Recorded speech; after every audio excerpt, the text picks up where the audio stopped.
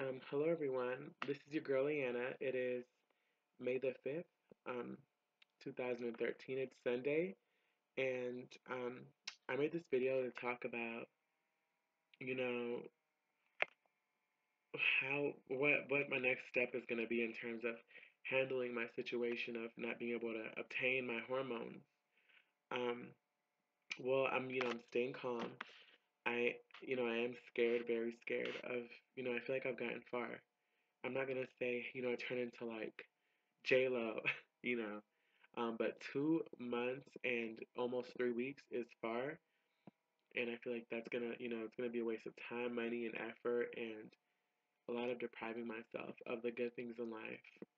Um, I gave up alcohol because you know, well, I don't drink like at home. I don't I don't like go to the kitchen grab like all my dad's alcohol or anything.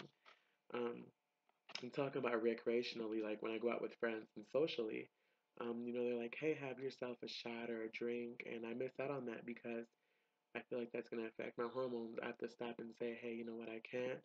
Um, I am on therapy. I am on hormone HRT. I am taking hormones, and I cannot because I would, you know, the effects would not be good.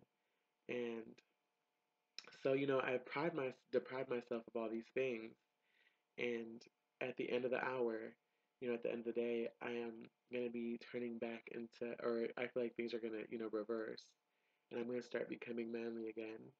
Um, I'm not, like I said, I'm not really far, but I'm far enough to feel like it's something that's a part of me now that I, you know, that I've always wanted. Like I said in my first, you know, the first day that I've taken that, um, that pill, I feel like I'm born again. Like this is my other chance in life where I'm me. I am actually me.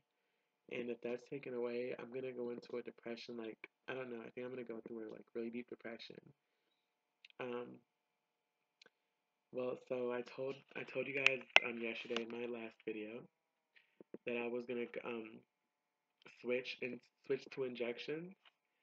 Um, I'm this I'm thinking about the um the Progynon Depot acid oil, and that's something that I'm really good. I'm gonna order it tomorrow for sure. I'm gonna first thing in the morning. I'm gonna I'm gonna take my car to the shop to get fixed, and then I'm gonna go to Walmart, and then from there, I'm gonna go to my bank, deposit the freaking money, and then order that. Um, let me see. Besides that, I don't know. I feel like it's gonna be like a bump for me because I think it's gonna be in the back of my like mind, knowing that you know I've been so far, but then I had that little two week period where you know no hormones were induced in my body. I apologize, I'm talking really low. I have a sore throat. Um, I didn't get home till 5 a.m. this morning. It's I was at a party, well, at a bar last night with some friends. Uh, it was actually a transsexual bar here in my area, or a gay bar. More, more gay people go there than trans. Um, and you know, I got home really late. But anyways, so that's how I'm gonna handle the situation. Now I'm gonna have them ship it to my school since I arrived there in seven days, and I'm gonna have them ship um ship my order to school. Um, so when I get there, I'm gonna take my first injection, and I think those are gonna work more efficiently and effectively in terms of results and um, you know physical results and mental results just because I know that, you know, I'm going to have that in there. It's going to be directly to my bloodstream. So, yeah, I'm going to take care of that. And I'm also going to look for endocrinologist down in that area.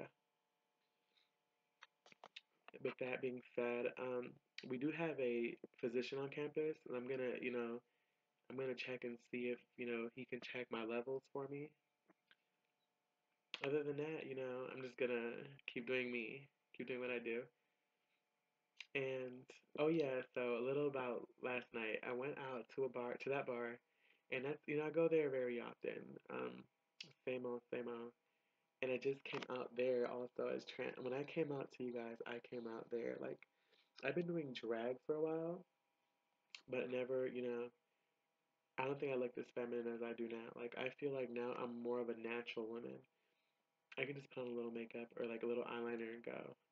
eyeliner and like lip gloss. And you know, back then I had to kick on all this makeup because my beard was so thick. Um, you know, my face wasn't feminine enough, so I have to contour and highlight a lot. I still like to highlight just because it gives me that um, Kim Kardashian look, but I'm gonna actually make a slideshow for you guys. I've been taking some really good pictures, and I feel like I'm more and more passable every time. Um, I did my eyebrows as I promised you guys. And there's always one eyebrow that freaking does not come out the same as this left one. Well, my left, and it's probably your right. But it's this left one. And so, sadly, I didn't get any play last night. No guys walked up to me. None. Um, my friend was she likes she's actually more of a, um, a CD or cross dresser, and she likes to you know she's not an actual trans, and she does it on the low. Like she would not leave her house. We leave really late at night, and she runs to the car and makes me close every door, everything behind her, just so her neighbors won't see her. Um, and you know she's really down low about it. But um, you know, she likes to show her cleavage and dress really slutty. And me, I like to wear pants and a t-shirt, you know. um, but I actually, when I go out, I actually do wear my little mini dresses, and I'm gonna take, I'm gonna make a slideshow sometime in the future, um, showing you guys that.